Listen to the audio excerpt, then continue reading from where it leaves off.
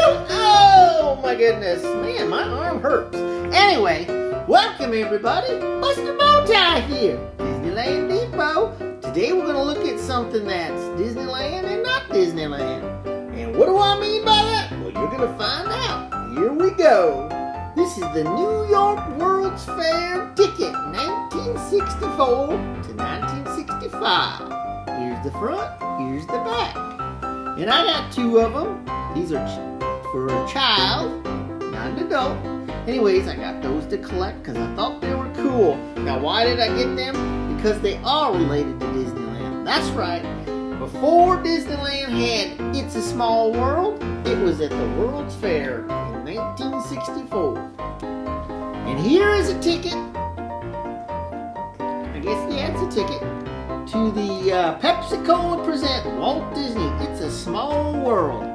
In very, very small print, it says a salute to the children of the world and UNICEF. And there's a boatload of boys. No, they're not a boatload of boys. What the heck?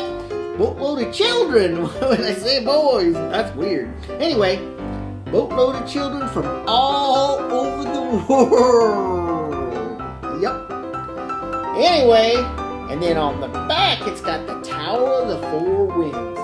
Anyway, I got two of these, and the reason I got them but have yet to do anything, I was going to try to put them like in this display because I thought they were cool. And you know, this is a classic ride that still exists today. And came, like I said, it originally was at the World's Fair, and then later on, they moved it over to Disneyland.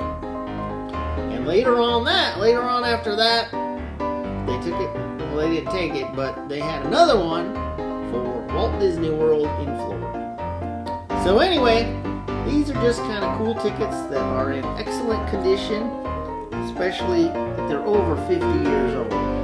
So, on that note, guess what? We're going to say goodbye. See you next time. Bye-bye.